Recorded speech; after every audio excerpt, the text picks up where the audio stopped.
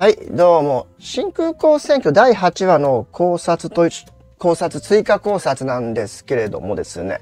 はい、えー、撃たれた獣は誰だ？撃った獣は誰だということなんですけど、これはですね、まあ、あの、手につけてるあの手袋っていうんですか、グローブっていうんですか、あの、それを見て分かってしまうということで、えー、まあ、おそらくですね、撃たれた獣は丹波和樹元刑事ですね。前作の大病院選挙では武蔵とね、えー、一緒に、まあ、戦った、えー、丹波和樹なのではないかと。まあ、丹波和樹か丹波直樹のどちらかが撃たれたということなんですけれども、おそらく、まあ、丹波和樹かなと。はい。で、えー、展開としてはですね、まあ、けだものとけだものに分かれてるしね。で、えー、丹波親子ってのは、まあ、元刑事なんですね。で、えー、丹波親子がね、まあ、けだものとかを止めようとするのかなって。で、そこで、こう、撃たれてしまうって感じなのかなってことですね。まあ、撃たれて死ぬわけではないでしょうけれどね。で、撃ったのは誰かっていうことを考えるとですね、これはですね、ネズミが一番可能性高いですね。なぜかというと、ネズミってのは、なんか血の雨を降らせてやるとか、あの、殺すとか言ってる過激でしょ。だからネズミが一番可能性高いのかなっていうところはありますよね。まあ、ネズミの仲間のけだものたちもですね、まあ、あの、まあ、悪いやつ復讐で殺すみたいな考え方ではあるけど、ネズミが一番そういう過激思想を持ってるような印象があるので、えー、ネズミが撃つのかなということですかね。はい。あとですね、あの、言葉遊びなんですけど、このドラマって、まあ、いろいろ言葉遊びとか、例えば、登場人物の年齢が30歳がやったら多いとかね。えー、あとは、ほら、えー、後ろの正面だーれとかね。後ろの正面誰で正面にいたのが本庄でしたみたいなね、考察もありましたけどね。あとはまあメールアドレスとかね、え、そういうとこでも文字遊びとかあるでしょあのパスワード画量転生とかさ。うん、そういうのことわざであるんだけど、で、うん、後ろの正面であれとか、画量転生とか、あとは、迷子の迷子の子猫ちゃんとかさ、あなたのお家はどこですかとかさ、うん、犬のおまわりさん。犬のおまわりさん、犬のおまわりさんってのは、警察の中に犬がいるっていう、まあ、ヒントのなのかなみたいな感じで。で、今回ですね、丹波直樹のね、あの、ペンダントに、えー、ワンラブってなってて、直樹セナとか、これあったでしょ？はい。これもですね、言葉遊びなんですよね。はい。えー、これね、あんまりね、取り上げてる人ね、あの、いないんだけど、これね、あの、実はね、あの、嵐の曲で、ワンラブっていうのがあるんですね。はい。ワンラブという曲がありまして、はい。えー、で、えー、ワンラブは、えー、ウィキペディア見ると2008年6月発売ということで、まあ、今からね、結構前ですね、16年前、ワンラブ、オリコン1位になってるということで、嵐の、えー、シングルの曲、嵐っていうと、桜井翔が所属してたでしょっていうことで、えー、言葉遊びですね。で、ワンラブってほら、100年先も愛を誓うよって、そういう歌、なんか聞き覚えありません？この部分ってさ、知ってる人多いと思うんですよ。そこの部分。ああ、そういう曲あったね、みたいね。信じている、ただ信じてるってね、この部分ね。はい。まあ、あのー、そういうね、言葉遊びに満ち溢れたドラマっていうか、そういう遊び心のあるドラマということでね。はい。まあ、これも、まあ、こういうのはなんか小ネタっていうかドラマを楽しむっていう意味ではね。はい。そういうことあるんですよね。はい。ということで、えー、撃たれた獣は、えー、平山が演じる和樹と いうことですね。虎さんが撃たれたと、うん、いうこと。打ったのは、まあ、ネズミの可能性が高いのではないか。まあ、も、もちろん、あのー、カーとなって打っちゃったっていうね のも、で、のもあるから、ネズミ以外の可能性ももちろん、それはあるんですけれども、まあ一応考察としては、えー、打たれたのは丹波和樹で打ったのはネズミと。はい。いうことでしょうかね。はい。で、えー、コメント紹介、コメント返ししていきます。はい、コメント紹介とコメント返しです。ワンチャン、ケンイチが生きてて北見の可能性もまだゼロじゃないかと、ということで、うん、まあそうですね。まあ、あの、ケンイチが誰かと入れ替わってるとか、あとしたりね、まあ入れ替わるというかなりすますとしたら、まあ丸亀とか棚倉とかとケンイチが入れ替わってる可能性もまあ考える必要あるのかなみたいにも、はい、ありますかね。はい。えー、そうですね。はい。で、えー、次のコメントなんですけれど、えー、武蔵健一が生きてるとしたら別人になりすましてるかどう思いますかっていうアンケートにか、アンケートにコメントがあったんですけど、うん、そんなデリケートな設定展開はないと思いますと。まあ、私もないと思うんですけどね。はい。えー、次のコメントです。北見棚倉丸亀は健一と性格が真逆なので、整形しても性格までは変わらないので、別人になってないかなと思ってます。まあ私もそう思ってますよ。というか、あのー、武蔵健一はね、そんな悪ではないと思うので、山猫でもないと思うし、うん、悪ではないと思います。だから北見でもないと思ってますね。私の考察ではですよ。はい。で、次のコメントです。さきと岩月は信頼関係があるように思えたので、同じ施設で育ったか、幼馴染と予想してます。まあ、あと、三つ子説とかもありますよね。あの、ゆずきと、えー、さきと岩月、三つ子説、あるいは、えー、姉妹説もありますよね。はい。次回予告で岩月は獣になった理由を当てろといった制限時間は1分なので、冒頭でわかるくらい端的な理由かなと思います。そうですね。はい。まあだから、1分で、あの、獣になった理由当てろとか、自分から言っといて1分で当てらんないから自分から言うとか、そういう感じですかね。例えば、島に拳銃向けて1分で当てろって言うけ言ってさ、まあ、1分で当てろって言って答えられないから、ね、えー、そんなこともわかんないの？って自分から言うみたいな。うん。次のコメントです。犬の父親は北見の秘書で拘置所で亡くなった。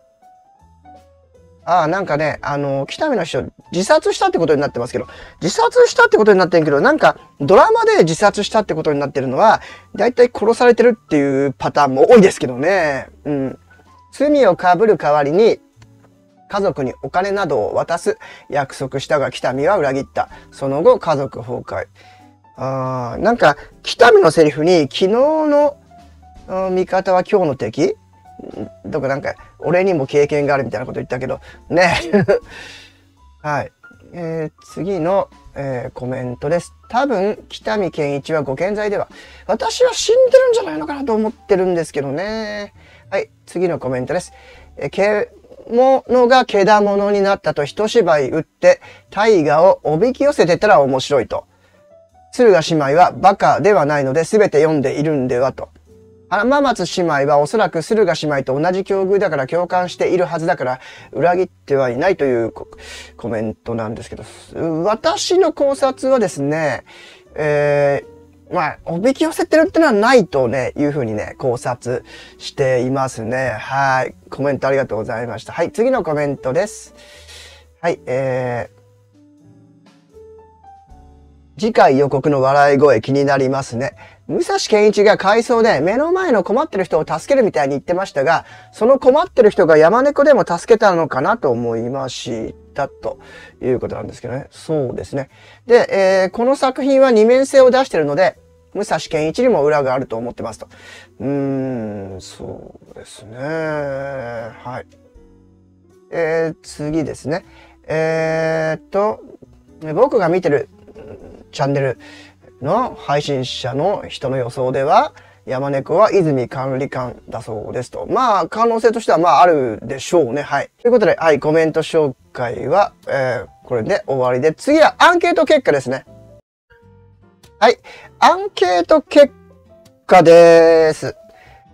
武蔵健一が生きているとしたら、はてな。別人になりすましてる？はてな、どう思いますか？ということで、武蔵健一が生きてるとしたら、はい、えー、武蔵健一として、えー、存在するというのが53%。北見が武蔵健一だったというのが41%ですね。要するになり変わってる、なりすましてる。はい。で、えー、棚倉が武蔵健一だったと。棚倉ってのは、武蔵優子の上司で手術の順番を入れ替えた人物ですね。これ2%。まあ、ほぼないというアンケート結果。で、丸亀が武蔵健一だったと。優子が手術を優先した丸亀ですね。はい。えー、丸亀が武蔵健一だって可能性。まあ、これも低いですよね。うん。武蔵健一が北見ってる説が、まあ、多いですよね。はい。入れ替わってるとしたらの場合ね。はい。で、次の、えー、アンケート結果。武蔵健一が、まあ、死んでるとしたらね、えー、という質問なんですけど、えー、その場合、空港に死体があるのではないか。あ、ね。地下に埋められてるとかね。空港の地下。あと、まあ、壁に塗り込められている。結構あるんですよ。あの、遺体を、死体を壁に塗り込むとか。昔ってさ、なんか、あのー、さ、そういう建物とかさ、なんか生贄とか言ってさ、そうやって人を塗り込めるとかさ、人を犠牲にするとか、そういうね、こともね、昔の時代って、えー、あったっていうのもありますけれども、まあ、ね、壁に塗り込めるっていうのもちょっと残酷ですけどね。はい。で、えー、武蔵健一が死んでるとしたらということで、それ以外ですね。例えば、まあ、誰かに、まあ、殺されて、まあ、山の中、土の中に埋めたとか、まあそういう可能性も、まああるのかとかね、そういうことですね。はい。次ですね。えー、武蔵健一がもし、えー、死んでいるとしたら、殺されたと思いますかっていう質問なんですけど、はい。えー、これ殺されたっていう回答が88%。で、殺されてないという回答。これは、例えば自殺したとか、病気で死んだ、事故で死んだとかね。えー、そういう可能性で、だだから例えば、あの、武蔵健一が、えー、ゆずき姉妹の、まあ、お父さんだとして、えー、ゆずきたちと一緒に暮らしてたんだけど、まあ、事故とか、病気とか、自殺で死んでしまったとかね。で、ゆずきと、さきにお母さんもいるでしょで、お母さんも死んでしまったと。いよいよ姉妹二人だけになっちゃったと。で、施設に預けられることになっちゃったみたいな。で、例えば、あの、ペンダントじゃなくて、あ、なんだっけ、あの、ご、ヘアゴム、ヘアゴムしてるでしょあの人たち。あ、ゆぶきとさきってヘアゴムしてますよね。あれってさ、あの、武蔵健一からのプレゼントだったら、武蔵健一が生きてる時に、まあ、あのね、一緒に暮らしてた可能性が高まるし、そのヘアゴムがですね、武蔵健一からのプレゼントじゃなくて、ゆずきのお母さんからのプレゼントだった可能性もあるでしょうん。で、武蔵健一がですね、あの、失踪してすぐ亡くなってるんだったら、あのー、まあ、奥さんは妊娠中でプレゼント渡すことはできないでしょっていう、妊娠中の 子供に対してヘアゴムのプレゼントするってことはないと思うんで、うん、だから、まあ、そういういろいろ考察してみたわけですけどね、はい。えー、あとは、山猫は誰だと思いますか？アンケートなんですけど、えー、アンケート結果、やっぱり、双葉が一番多いですね。はい。武蔵健一が山猫っていうのが14%。北見が山猫が10%ですね。えー、双葉が圧倒的多いです。で、それ以外の人間が山猫と、まあ、泉山猫、本庄山猫とかね。はい。そういう説ですかね。これは双葉59%、一番多い。はい。えー、武蔵健一がもし殺されてたとしたら誰に殺されたと思いますか？アンケートは、双葉に殺されたが56%で一番多く。そして、えー、北見に殺されたが19%。それ以外の人間に殺されたが25%。まあ、それ以外っていうのは、例えば、陸奥関連ですね。陸奥の、えー、部下とかね。うん。実行犯は別にいるみたいな。はい。えー、武蔵健一は生きてると思いますか？アンケート。これはですね、死んでいる方が多かったですね。死んでるが63%と。えー、駿河姉妹は武蔵健一の娘だと思いますか？という質問は、これ圧倒的にね、81%、えー、武蔵健一の娘だというね、はい、意見が多かったです。はい。で、えー、岩月山猫犬説なんですけど、これはね、えー、岩月は山猫であり、犬であるという、えー、ね、回答が34%。岩月はただの犬である、あるいは犬側であるという、まあ、あこれね。これはね、8話放送前のアンケートなんですけどね。はい。ただの犬であるっていうね、岩月。これが34%。同じですね。だから、まだわかんないですね。まだわかんないですね、岩月。岩月は、まあ、山猫の方ともなんかこうね、こう繋がってるみたいな可能性はまだありますよね。はい。うん。で、岩月は山猫である、や、た、ただ単に山猫であるっていうのは13%。岩月はただの情報分析機関で何ともないと、怪しくも何ともないってのが19%でしたね。はい。で、えー、それでね、えー、アンケート結果は、えー、今みたいな感じですかね。はい。ということでですね、今回はね、えー、新しい考察してみましたが、いかがでしょうかね。えー、コメントをどんどんね、ください。コメントお待ちしてます。ご視聴ありがとうございました。